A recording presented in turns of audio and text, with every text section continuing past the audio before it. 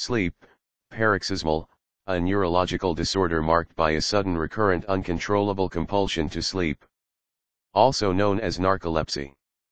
The disorder is often associated with cataplexy, a sudden loss of muscle tone and paralysis of voluntary muscles associated with a strong emotion, sleep paralysis, immobility of the body that occurs in the transition from sleep to wakefulness, what are called hypnagogic hallucinations, pre-sleep dreams, and automatic behaviors, such as doing something automatically and not remembering afterwards how one did it.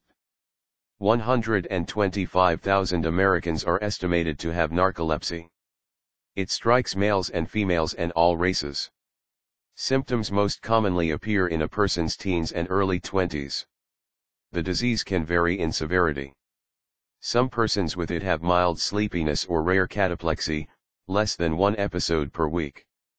Other persons may have moderate sleepiness or infrequent cataplexy, less than one episode a day. Still other persons with narcolepsy may experience severe sleepiness or have severe cataplexy, with one or more episodes of cataplexy per day. The cause, S, of narcolepsy are unknown. It is not a fatal disorder in itself but it can lead to fatalities.